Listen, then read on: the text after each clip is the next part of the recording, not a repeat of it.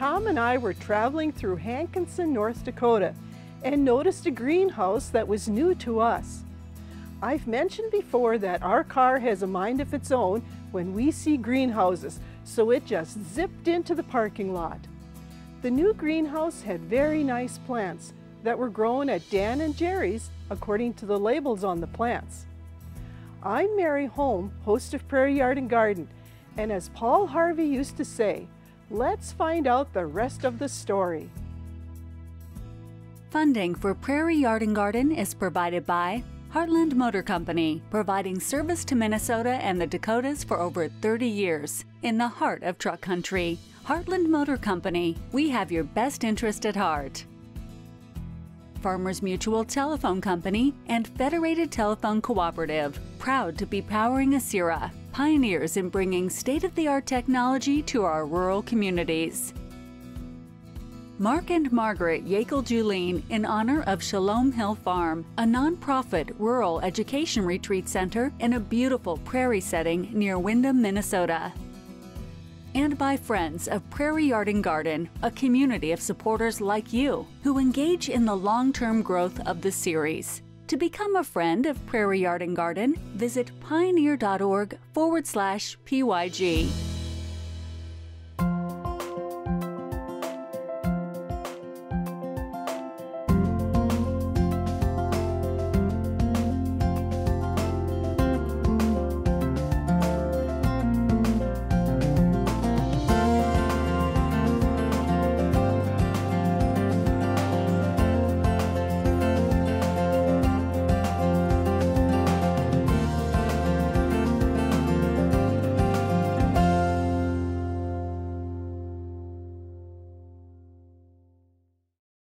Friend Steve Jones travels to greenhouses all over the upper Midwest as part of his job.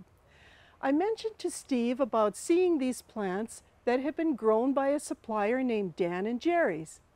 He laughed and said those folks were good friends of his too, and he could arrange a tour at Dan and Jerry's with production and inventory manager Tim Sawatsky if we would like. Well, it took about five seconds to say yes, and here we are along with our Prairie Yard and Garden viewers. Welcome, Tim. Hi, Mary. Welcome. Tell me, how did Dan and Jerry's get started?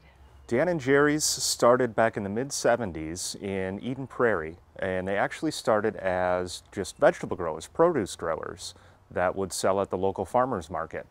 And in about 1979, they built their first greenhouse in Buffalo, Minnesota, because people kept asking for tomato starts.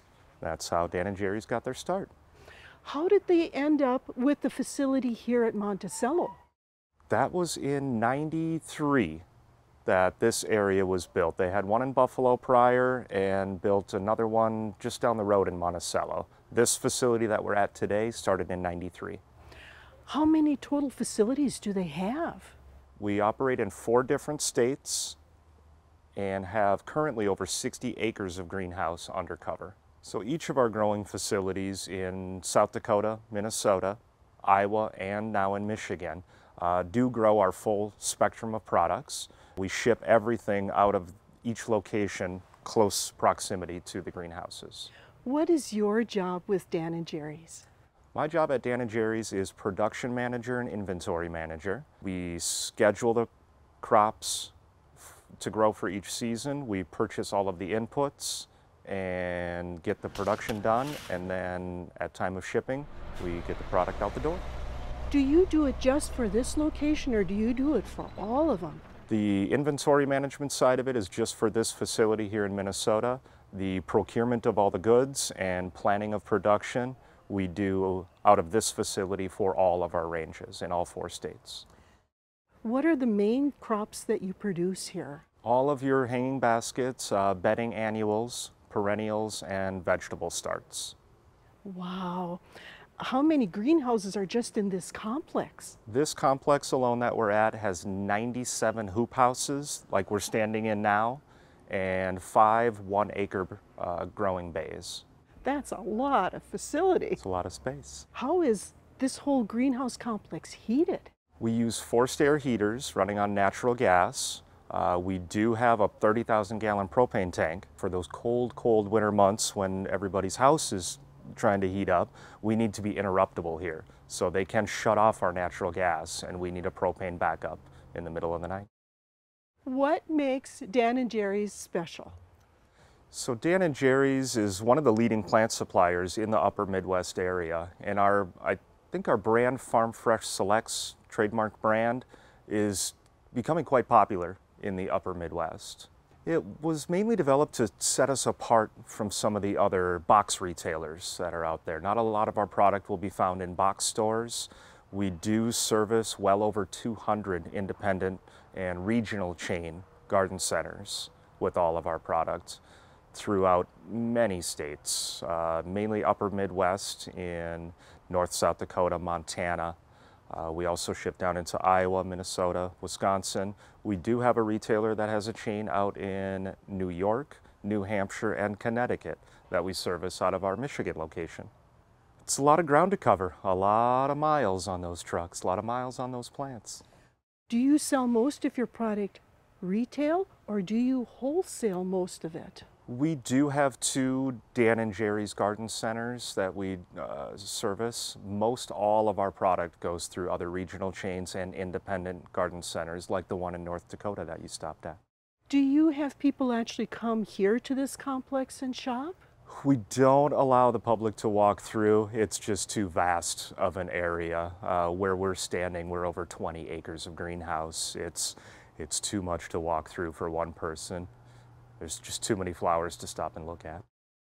How long does this stay open? How long do you keep production going?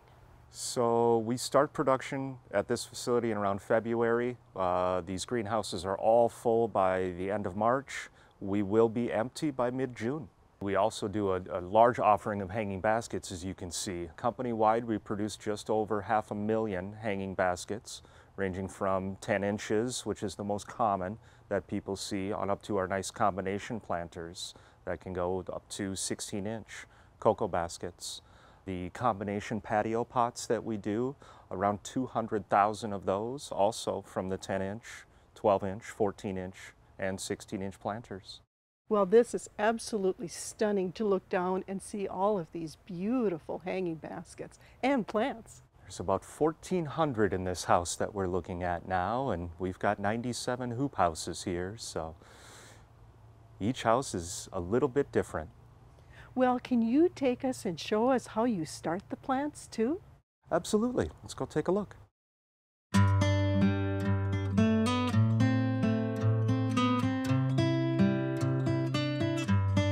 I love nothing more than the delicious taste and crunch of a dill pickle. Those sharp flavors bring your taste buds alive and complement nearly any meal you can think of. On the picnic table in summer or in the spread at Thanksgiving, dill pickles are a year-round favorite. If you have your own garden or belong to a CSA, you might find yourself with some extra cucumbers at the end of the year. So, what to do? Have you tried making your own dill pickles? The idea may seem daunting, but it's really quite easy. And to show you how, I'm joined by Teresa Peterson, who for years has preserved vegetables for enjoyment year-round. Yes, Mary, they are really quite easy and they're tasty too. Where did you get this recipe? I got this recipe from my mom and it's really quite easy. And you can get all the ingredients locally grown. What are the ingredients? Eight heads of dill, four cloves of garlic, cucumbers, six cups of water, three cups of white vinegar, three tablespoons of sugar, and three tablespoons of canning salt. It looks like we have all of the ingredients here. How do we get started? First, you just take your jar, make sure it's clean. You put in four heads of dill, four cloves of garlic, and then you clean your pickles, you clean your cucumbers, you pack your jar, you have your brine going. Your brine is your vinegar, water, salt, and sugar. And when it comes to a simmer, then you pour it over the cucumbers and then you seal it and you leave it on the counter for two days. After that, you put it in the refrigerator and you enjoy the rest of the year. That's it? That's it. It's that simple. If you want to see this recipe or find a place you can buy locally grown dill, garlic, and cucumbers, go to minnesotagrown.com. Tim, the size and scale of this is absolutely amazing. But how do you decide what to grow and how to figure out how much of everything to grow? So with all of our retailers, we have full visibility into what sells every day at those garden centers. Our garden centers generally close around the 4th of July. So starting then, after the 4th of July holiday, we'll start planning for next year. We'll look at what's sold at each retailer and decide how many hanging baskets, how many 1204s to plant, and how many four and a half inch. Then for the next three months, it takes us to plan and secure all of those inputs. And by December, we start seeding. So when you're talking about inputs, you're, what do you mean by that? So all of the seeds, all of the tags, all of the plastic pots, uh, we purchase all of that out of this facility for all of our growing locations. Do you start the crop by seeds or cuttings? So a lot of our stuff is from seeds, but we also do have cuttings that we stick in these Ellepots, a little paper sock and the soil. Um, but a lot of the stuff is from seed production, like these peppers here in these 162 cells. When you do seeding, like into that, do you hand seed that? All of our seeding is done automatically with a drum seeder. So the plug tray will go through the flat filler and get filled up with soil, makes little indentation. Then a stainless steel cylinder will actually vacuum up each seed and drop it in each, each row. Wow. Then I've heard the term primed seed. And what does that mean? And do you use some of that? So we do use some primed seed. Uh, mainly what it's used for is to even out germination. So they actually almost force that seed to germinate prior to us seeding it. A lot of crops, some crops are uneven to germinate. So that just helps us. And then pelleted seed is used quite a bit. That's for really small seed, like a snapdragon and begonia are just tiny, tiny seeds. So they pelletize it to make it bigger and actually uh, help with that drum seeder. And tomatoes have actually a little cup to them so that that pelletizing fills in that cup and makes it able easier to be vacuumed up. Do you do one crop of seeding or do you seed like uh, the same crop numerous times depending on where it's going to get shipped to? So we definitely stage out our uh, sowing into multiple crops. A lot of the things we do will be weekly, but most of the things are bi-weekly. They can only hold for so long in this environment before they go out to the retail market. Then do you have like a germination chamber at all? We don't use a germination chamber here we have where we're standing now, this acre bay that we're in actually has in-floor heat that we can regulate the temperature in each one of these zones to wherever we need it. And then how do you water in this area with all of these babies? So all of these benches that we're looking at, we, we call them a zone. So the boom irrigators will come down and we can program them to water each table as needed for all the different crops that are in. And only when it gets closer to a finished size will we then water by hand and, and spot water, as we call it. And then when do you start fertilizing? Generally, we do a small fertilizer application right as that plant emerges and gets past the cotyledon stage, which is that first leaf. Once it gets its first true leaf, that's when we'll start the fertilization process. And not a lot in the plugs, that's more for the finished side. How long do you leave them here and how do you know when it's time to move them?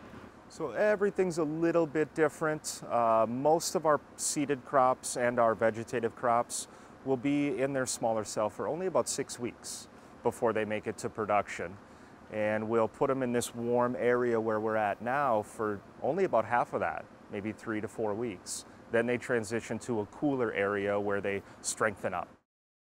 You mentioned vegetative. what is the difference between a vegetative and a seed grown plant and why, why two different things? So seeded items are generally a little bit less expensive, except some of the vegetables can be very expensive. Uh, cuttings are more of a patented item. So re we're required to use a vegetative cutting and they, most of them don't produce seed. So we'll receive the cutting just like this and stick it into its tray here. You mentioned patented. What does what does that mean, or what what is the limitation on that? So a lot of the plant breeders they own the rights to that plant. They don't allow us to take that cutting. We have to purchase that cutting and a license to use it. We have to buy their tag. We actually meet with a lot of the plant breeders and see what's new and exciting for the next season. How do you decide what new things to add and what old things to drop off? That's the fun part. You can see something in a catalog that may be the latest and greatest, but to do it on a massive scale, we might not be able to get our hands on enough of it, or they'll limit it to a smaller grower. Um, so we meet with them maybe two years in advance, and we have the luxury here of trialing some of the new products for the upcoming season to see how they do in our gardens prior to getting them out to the public's eye. So when the plants get big enough here, then where do they go from here? Then they transition to our transplanting area, our production room. And is that transplanting done by hand or a machine again? Depending on the size, a lot of the familiar 1204 packs, the little cell packs that you buy, those are generally all done by machine. A lot of the baskets and larger containers are done by hand still. Tim, what do you use to seed all of these plants into? So uh, our mix is just a basic peat moss and perlite blend. Uh, you can see some of the little flecks of white and gold in here. Uh, it's just a uh, more uh, fine grind of peat moss and perlite. It's the same mix we use in our finished side, which is just more coarse. We'll use a coarser peat and a coarser perlite to add more aeration. And at that point, we'll add uh, more micronutrients to it, a slow release fertilizer, some different limes. And each crop is slightly different, but generally it's the same mix in both. How do you know what to add for each crop? So that's a little bit of experience with our top-notch growers here. Uh, each plant is a little bit different, but for the most part, a plant's a plant. When you fertilize, do you fertilize through the water system? Yes, a lot of what we do in the plug side is liquid feed as well as the finish side. We do at the production uh, line add a slow release granular fertilizer, which is generally just for the consumer side of it. It doesn't, it's not here long enough to activate. So that's for when you take it home and put it in the ground or in your planter that's when it will activate. So hopefully you have to feed it less. Would it be possible for us to go see the area where you actually transplant and get the plants ready for shipping? Yeah, let's go see our production and shipping facility.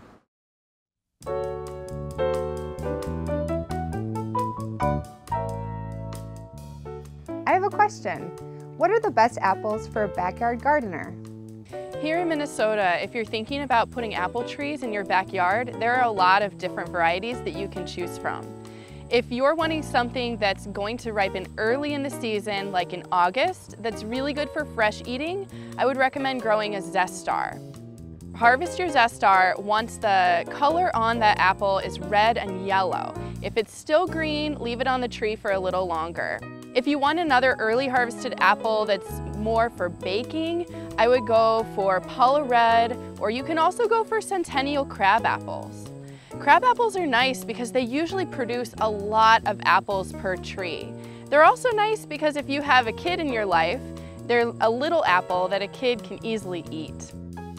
If you're thinking along the lines of a mid-season or late-season varieties, you have so many options. One that's a personal favorite is Regent. Regent is definitely another one of those older varieties, which I think has a wonderful crunch and wonderful flavor. Haralson is a classic favorite in Minnesota. Haralson is best known for being a great pie apple. It's a little more tart, that's why people usually love to use it for pie. So those are a few of my recommendations for backyard apple varieties. Ask the Arboretum Experts has been brought to you by the Minnesota Landscape Arboretum in Chaska, dedicated to welcoming, informing, and inspiring all through outstanding displays, protected natural areas, horticultural research, and education. Tim, at what stage are the plants transplanted? Generally, as soon as they have a good root structure. Like I said, everything is four to six weeks to eight weeks. So once they have a good root structure, we go ahead and bump them up. I brought some of our vegetable sizes here that we offer. Probably the one everybody's most common with. It's just a four pack of annuals for commonly maybe for red peppers or tomatoes. Then we come up to those that want a single and some little more, a little more uh, specialty varieties of peppers and tomatoes will be in our three and a half inch. Then we do also carry our Quart specialty vegetable line. This is where you'll find your ghost peppers and the Carolina Reaper, which is what I'm holding now. I don't know how people can eat those things, but uh, there's quite a following. And then we do a six inch vegetable as well, six inch pepper and tomato as well, along with some patio tomatoes and peppers. Do the plants all get transplanted into the four packs and then get moved up to the bigger sizes, or do they get put directly into the bigger sizes? Most all of what we saw there with the vegetables, they come directly out of that plug, that small plug, and into their finished four pack or six inch. Uh, when we do our larger combination planters, we'll essentially uh, plant that small cutting into about a three and a half inch size, grow that on for just a few more weeks, and then put them in their final patio planter. On our soil line, our custom made soil line, we have the ability to uh, change the amendments that go into it. Generally, it's just a peat perlite mix. Uh, but that's where we add the controlled release fertilizer and the lime and maybe a couple other things depending on the crop. How about then when you get into the bigger sizes like the hanging baskets and this beautiful planter that you've got right here, does that also have a different uh, mixture then? Again, most all are the same. Um, this size container and larger is where we'll use that bump up step. We'll put that smaller plug into a, a, larger and then it'll go into here so they, they play nice a little quicker for us. is the transplanting, is that done by hand or do you again have a machine that can help with that? So the 1204 production is generally all done by machine. Uh, we can just get so much more done with less people. Uh, you get up to the three and a half inch and larger and that's all actually still done by hand. When you do all of that, how do you end up putting the tags in? Do you have a machine that does that or does a person do that? So I've been here 24 years now and I have yet to see a machine that can tag. So that is still a manual process. Do you have any issue with bugs or other pests here in the greenhouse? So we do have, just like at home, we just start a little earlier here. Uh, we do have the fungus gnats and the aphids and the shore flies. We generally can take care of those. Uh, it's the woodchucks and the gophers that'll come in and dig up the plants just after transplant and eat their stems off. How does that happen? I mean, you're in a greenhouse. It is just plastic, remember? Every animal's got a greenhouse key. How do you monitor for insects in a place this huge? So each uh, section here has a section grower and then some helpers underneath them. And it's their job in each section to scout daily for bugs. We've got our crops that you survey first, uh, then your secondary crops. Uh, if you find something there, you know, you've got to explore a little bit more. So we do use a lot of beneficial insects. Uh, I guess the best way to describe them, because I cannot pronounce any of their names, are they're good bugs that eat bad bugs. And a lot of what we do here is controlled by those beneficial insects to minimize the use of pesticides. So that is something that you are very conscious of here at Dan and Jerry's. Absolutely. Uh, there's still use for pesticides, and when applied properly, uh, they are completely safe. When you have so many different sizes of plants, how do you water those plants? A lot of the larger patio pod containers are on a drip irrigation system. We'll set them out spaced and run that drip line right through. It's just a pinky size line that drips a drip emitter. Uh, but most everything in the greenhouse is watered by hand. When do you start shipping?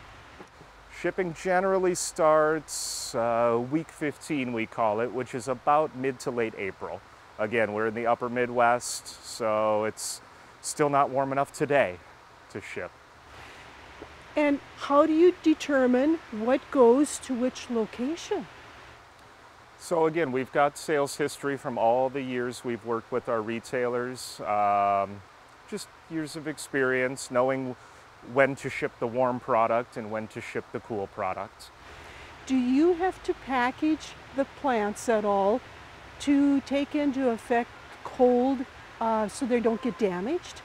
Oh yes, all of our trucks, even now, as we're a week before Mother's Day, it, uh, all, there's heaters in all the trucks. And at our retail locations, each, most all of them have a greenhouse with a, a supplemental heat inside. Do you use special trucks then? Yep, we use 30 foot box trucks with heaters in them, and most of our product is shipped on uh, semis, 53 foot tractor trailers, and again, heaters in all those trucks. Do you ship to the same locations each week so that as they're uh, running out of product, they can get a hold of you and say, hey, I need more of your beautiful hanging baskets? So, yep, we monitor their daily sales at all locations. Most all of our stores get every other day shipments. A, a, lot of the larger stores in more populated areas, they will get daily shipments from us to keep that product fresh. This has been so interesting. And I thank you so much for letting us and our Prairie Yard and Garden viewers come and see your beautiful place. Thank you for the opportunity. I was really happy to show you around. Thanks again. You're welcome.